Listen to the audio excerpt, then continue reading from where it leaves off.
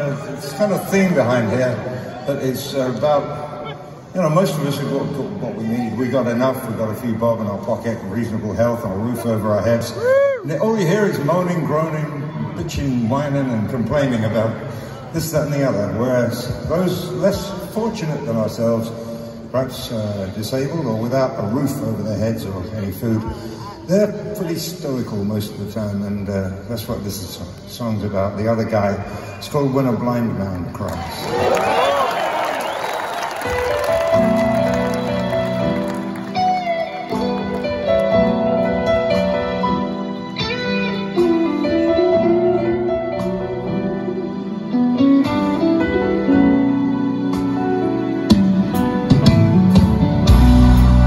If you leave it